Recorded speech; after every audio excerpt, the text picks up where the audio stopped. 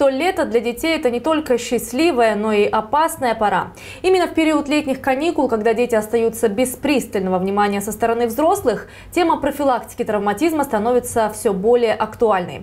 Актуальна эта проблема и для Сочи, ведь на Черноморское побережье летом со всех регионов страны на отдых и оздоровление приезжают десятки тысяч детей. Как оградить их от травм на суше и на воде, попытаемся разобраться сегодня. Здравствуйте, в эфире программа «В курсе» и я, Ольга Десятова. В этой студии мы обсуждаем вопросы, которые так или иначе затрагивают интересы всех сочинцев. И сегодня гость нашей программы – кандидат медицинских наук, ведущий специалист, врач-травматолог, ортопед городской больницы номер 9 Игорь Шиламов. Здравствуйте. Здравствуйте, Игорь Викторович. Очень приятно, что вы пришли сегодня к нам в нашу студию. Ну, долгожданное лето пришло, дети ушли на каникулы, и, конечно же, лето – это пора, когда мальчишки и девчонки особенно активны, свободного времени у них становится все больше, а надзора со стороны взрослых, родителей все меньше. Вот э, как это отражается и отражается ли на статистике по травматизму? Безусловно, курортный сезон – это горячая пора для города во всех отношениях – Естественно, увеличивается количество населения приезжего, местное население, детское, освобождается от занятий в школе, и, естественно, выходит на улицы, где начинает искать себе приключения и развлекаться, отдыхая от проведенных школьных дней. Вот. У нас за год регистрируется свыше 15 тысяч обращений в травпункт, вот, по статистике. Это до, довольно много. Получается, что ежедневно около 50 обращений. Ну, они, они все разной степени тяжести. А, но если сравнить э, зима и лето, практически в три раза и более увеличивается поток обращающихся. Ну какие это виды травм в основном? Вот э, средней тяжести, очень тяжелые именно в летний период, если мы об этом сейчас говорим? Ну, слава богу, в основном это легкие травмы, я сейчас говорю о статистике обращений, угу. не о статистике госпитализации, потому что госпитализируются более тяжелые повреждения. А обращения это ну, сейчас э, население грамотное и чаще обращается к врачам, в этом свои плюсы есть, даже при незначительных каких-то ушибах, порезах, царапинах, укусах домашних животных они обращаются. Поэтому, слава богу, большинство из них легкие. То есть на 15 тысяч обращений э, 1300 госпитализаций. Это ну, один из десяти, который нуждается в госпитализации. Ну, как вам кажется, это хорошо, что все-таки люди обращаются даже при каких-то незначительной с врачебной точки зрения травме? Это правильно? Это свои плюсы и минусы определенные есть. То есть все а, хорошо в меру, все хорошо в норму. Если там, ну, скажем так, царапина, ушиб, безусловно, это все видно и очевидно, то, думаю, мгновенного обращения и вызова скорой нет необходимости. Если какие-то есть сомнения и, что называется, симптомы усиливаются, то, конечно, надо обратиться. Ну, как себя вести взрослым людям, если, допустим, ребенок получил какую-то травму, э, чтобы не навредить ребенку? Что нужно делать? Ждать приезда скорой, самим вести или этого ни в коем случае не нужно ну, делать? Во всем мире случае? существует стандарт, это первая доврачебная помощь, э, на, и у нас должна это концепция работать. То есть э, все знают, даже сейчас в программу подготовки водителей включена программа оказания первой медицинской помощи. Это доврачебная помощь, все ее знают, я даже на ней останавливаться не буду. В, в, в элементарных вещах нужно начинать оказывать помощь на месте происшествия, сразу не дожидаясь приезда скорой помощи. Если травма, скажем, тяжелая. Но если легкая, то, естественно, можно трансп транспортировать в лечебное учреждение. Сейчас, благо, везде есть медпункты и в санаториях различных, и на пляжах всех есть оборудованы. Поэтому здесь э, соответствуем общим стандартам оказания помощи. А травмы, полученные в результате дорожно-транспортных происшествий, э, детские травмы, насколько сегодня вот они характерны, насколько много вот таких у нас случаев в Сочи, и насколько они учащаются с приходом летних каникул также? К сожалению, да. Дорожные транс транспортные э, травмы – это серьезная и мировая проблема, и у взрослых, и у детей. Она по статистике выходит на, даже на третье место по причине летальных случаев э, в связи с э, известными причинами увеличения транспорта, увеличения мощности транспорта, количества дорог увеличивается, инфраструктуры и так далее. Вот у нас за прошлый год зафиксировано было 256 э, дорожно-транспортных происшествий, которые обращались в нашу больницу. Они все регистрируются, сообщаются на пуль дежурному, мы их все отслеживаем, угу. смотрим.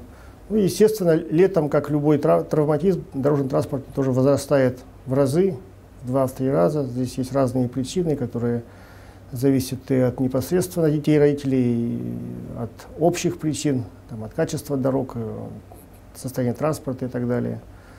Вот, э, летом э, количество транспорта растет, но, опять же, ос особенность вот раньше была, было много пробок, то есть в пробках травму сложно получить. Mm-hmm. Это, в этом плане даже какой-то был плюс. А сейчас э, скорости большие, и, как правило, повреждения довольно серьезные транспортные. Ну вот, э, проводится профилактика с этой темой. Э, все работают, и дорож... работники администрации города, и службы дорожные, и ГАИ, и медицинские работники. Э, в целом, в принципе, пытаемся сдерживать этот э, процесс, но не, не, все от нас зависит. Что зависит от нас, мы стараемся оказать максимально квалифицированную помощь, максимально срочно. Есть стандарты также мировые оказания, так называемые правила золотого часа. То есть по статистике, я даже не беру детскую общую, из погибших э, после ДТП большинство погибает в первый час при неправильном оказании или поздно начатом оказании медицинской помощи. Вопрос отрабатывается у нас на всех уровнях, в том числе и на скорой помощи, и в профильных учреждениях. Поэтому вот в этом плане у нас достигнуты не, неплохие результаты. У нас, в принципе, практически все дети, которые к нам поступают, они, э, ну, летальность равна нулю, скажем. То есть мы до последнего при любом случае стараемся оказать максимальную помощь и довольно успешно. Но есть ли какая-то специфика у Сочи, как у города-курорта по части травм? Допустим, э, в холодных регионах э, снег, э, гололед, люди часто падают с наступлением зимы и получают такие характерные для этих регионов травмы. Что у нас в Сочи? Какова специфика, которая вот, травмы, которые характерны именно для таких жарких регионов с длинным летом, с наличием моря? Ну, специфика, как вы сказали, действительно в климатическая.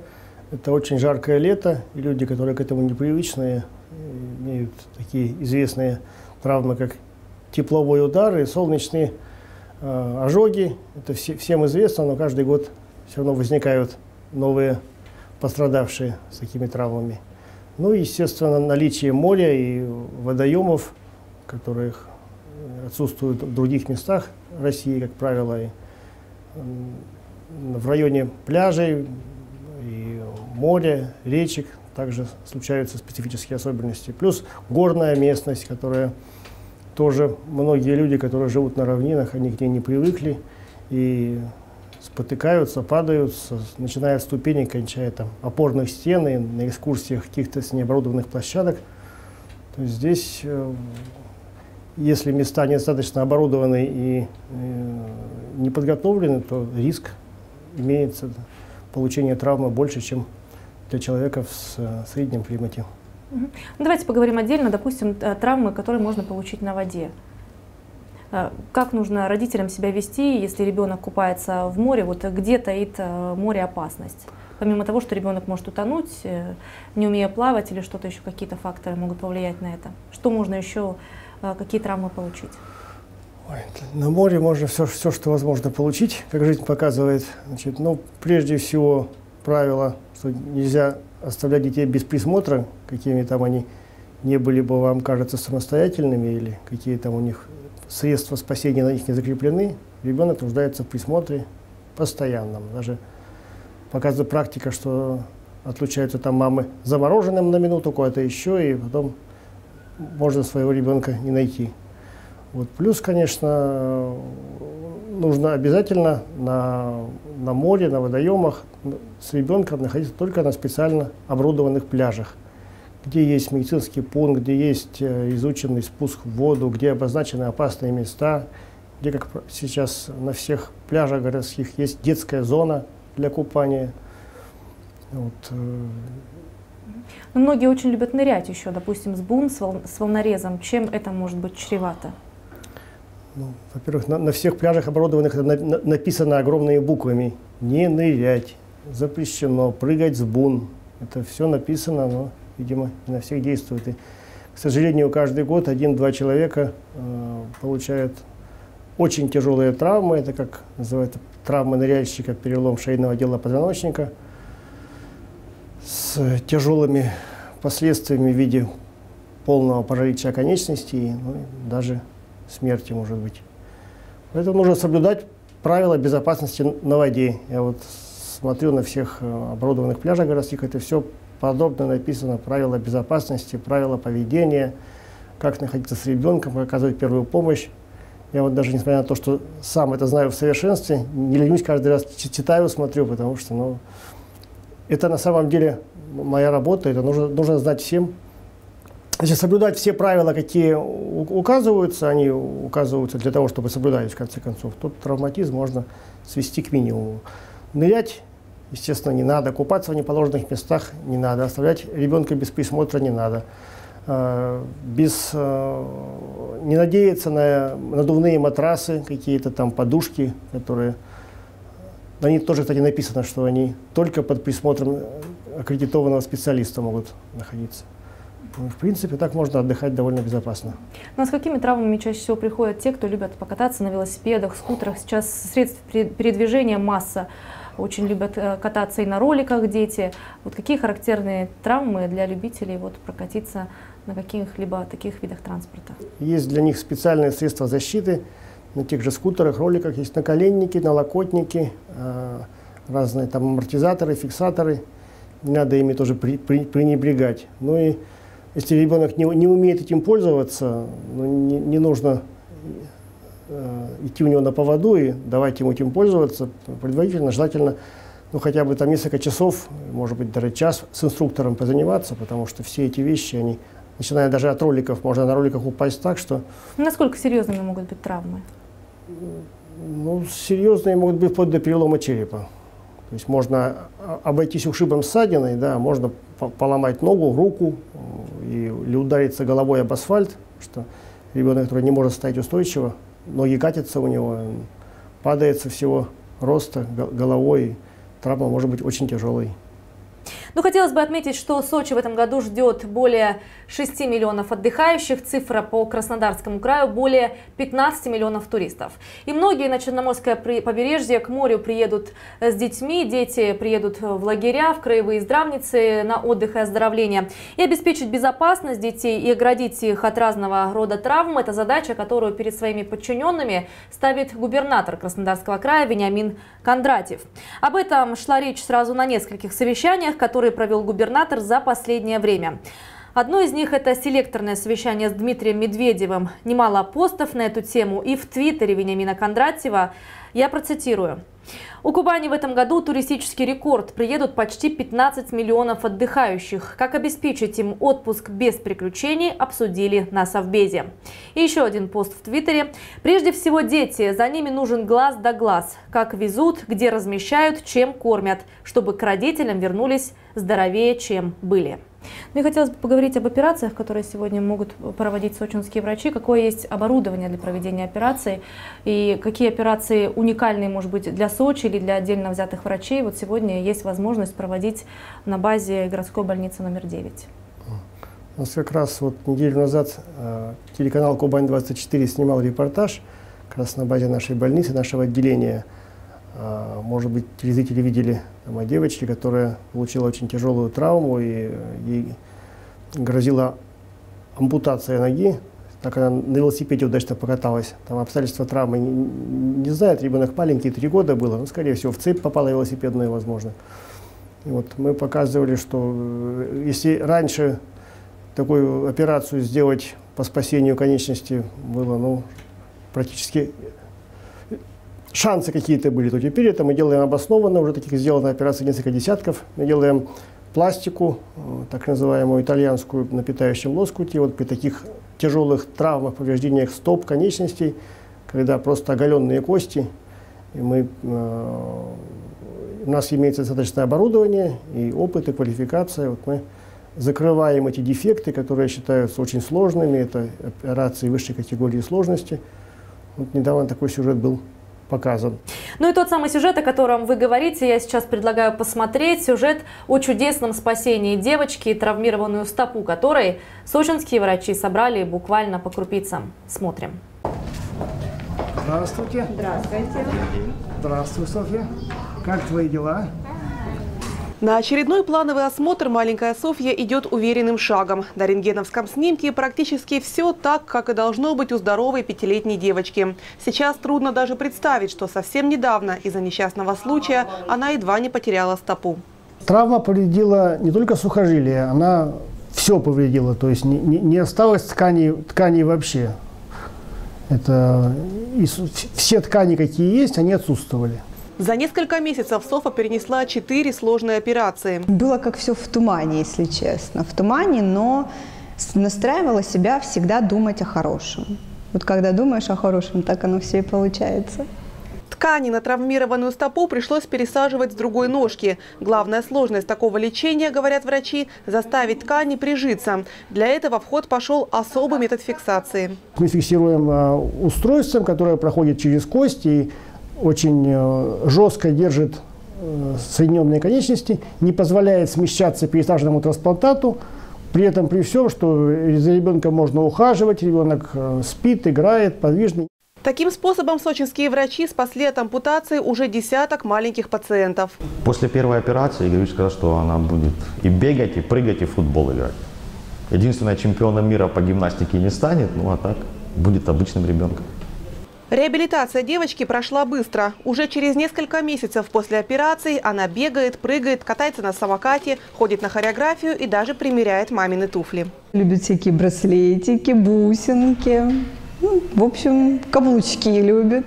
По дому выходит, шагает, такая деловая. Говорит, мама, я уже доросла, буду на каблучках только ходить. Я говорю, хорошо. Мы даже купили туфли на каблучке. Пока девочка растет, за ее спасенной ножкой будут наблюдать врачи. А сейчас, чтобы окончательно избавиться от постоперационных шрамов, она проходит курс лечения в Мацесте. Ее это абсолютно не смущает, она на это даже внимания не обращает. Да, ну, она про это про все уже забыла, как бы никаких неудобств она не испытывает, потому что все было сделано профессионально и своевременно. На днях Софа отпразднует свой шестой день рождения. Подарок родителям она уже давно заказала – свой первый двухколесный велосипед. У нас, в принципе, оборудование для лечения самое современное. У нас в больнице по нашей специальности присвоен третий уровень. Это, в принципе, уровень краевой больницы. Выше только федеральный идет, федеральных научных центров. Ну, у нас специфика такая, к сожалению или к счастью города, что у нас э, очень приходится сталкиваться с людьми много иногородними. То есть мы поэтому контактируем с э, другими учреждениями страны, в том числе ведущими с Москвой, Санкт-Петербургом. Вот недавно в Санкт-Петербурге были пациенты, которых мы, они долго решались, доверять нам или нет. Может быть, спецрейсом на самолете в Санкт-Петербург, там есть Центральный институт имени Турнера, полететь. Долго консультировались мы с директором института, академиком Баин Дурашвили. Но в результате провели две операции. Там мальчик пострадал на горных лыжах, кстати, еще тоже проблема была зимняя. -hmm. И э, получили полное подтверждение Центрального института, что помощь оказана максимально квалифицированно и максимально качественно. И даже, скажем, ком комплименты в наш адрес были сказаны, что немаловажно, учитывая, что это исходит от федерального центра, от академика и специализированного лечебного учреждения. Вот у нас есть электронно-оптический преобразователь, который в операционной нам помогает значит, интраоперационно видеть необходимую нам информацию о операциях на костях. Есть современные коагуляторы, которые помогают остановить кровотечение даже крупных сосудов. Вот. Общаемся с коллегами нашими по городу, в частности, вот четвертой больнице бывает нас выручает по сосудистым операциям. Ну и мы также участвуем, соответственно, где можем помочь. Поэтому, в принципе, у нас э, достаточно возможностей для оказания помощи в этом городе на достаточном вполне квалифицированном уровне. Ну а как квалификацию, свою квалификацию повышают врачи 9-й горбольницы? Это может быть участие в конференциях, выезд куда-то, обмен опытом? Безусловно, да, вы правы, что и, и выезды есть, и сейчас технологии современные очень, очень нам помогают в том, что сейчас многие конференции, допустим, если мы раньше ездили в Краснодар, Катов, Петербург, Москву, то сейчас те, те, телеконференции – это обычное дело, мы сидим в актовом зале, и нас видит лектор и тот, кто проводит демонстрацию, и, и мы его видим, и общаемся, что называется, онлайн. Вот недавно была конференция в, э, краевая, в 4 больнице по повреждениям таза, очень актуальная проблема при э, дорожно-транспортных угу. происшествиях, очень, очень серьезная, которая тоже вызывает массу различных э, осложнений после травм. Недавно была именно специализированная детская конференция, проводилась краевая детская больница, тоже по телеконференции мы участвуем. Когда возможность есть, позволяет время, и, э, то ездим на конференции в центральные клиники, в Москву, Санкт-Петербург. Кроме того, у нас э, обязательная раз в пять лет повышение квалификации, это сертификационный цикл обязательно месячный проводим или на базе краевой больницы, или на базе центральных клиник. Плюс, конечно, общение с коллегами, которые тоже нам добавляют опыта в различных областях. Это замечательно, очень радует. Ну и в заключение нашей программы хотелось бы подвести итог нашей беседы. Все-таки рекомендации родителям. Сейчас э, много, многие приедут э, к морю с детьми из разных регионов России. А как уберечь детей от травм и на море, и на суше? Вот несколько рекомендаций, что нужно э, знать и в первую очередь. Ну, в первую очередь, надо с, с, это рекомендации для местных жителей, и для, для приезжих.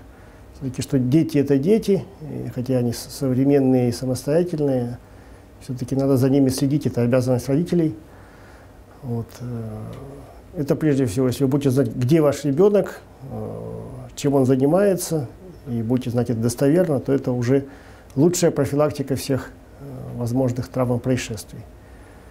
Вот, э, ну, дальше, естественно, если вы его не оставите без присмотра, надо прежде всего по погоде, чтобы ребенок был одет и обут. То есть это важная вещь, чтобы она была и удобная ребенку, и в то же время безопасная, потому что много различные одежды, особенно обуви, которая неустойчивая и стесняет движение, особенно вот в походы ходят дети, там куда-то на лошадях катаются, на чем-то еще. Это нужно об этом подумать заранее, что, что одеть на ребенка, что обуть, чтобы ему было удобно прежде всего. Ну, красиво это уже второстепенно. Значит, опасности, они, по идее, на каждом шагу постерегают. И даже очень много вот бытовых травм я хотел отметить, что в элементарной ситуации, что люди завтракают на кухне, ребенок тянет рукой, хватает там чайник или кастрюлю, пока там мама, папа отвернулись, и ужасные ожоги бывают, кончая тем, что палец в розетку, гвоздь, скрепку, спичку. То есть дети – это сектор повышенной опасности. Есть э, случаи падения из окон детей, э, падения с, с крыш, гаража с опорных стен. То есть это все нужно учитывать, когда вы, куда вы с ребенком идете или куда вы его отпускаете.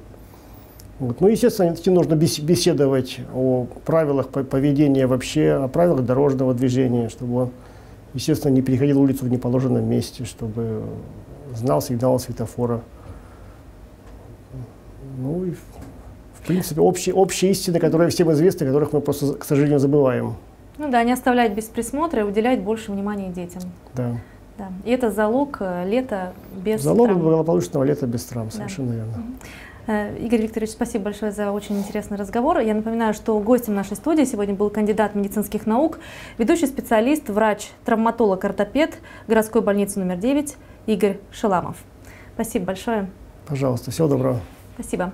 Ну и вы смотрели программу «В курсе». Будьте в курсе всего того, чем живет наш город Сочи. В студии была Ольга Десятова. Всего доброго и до встречи в эфире.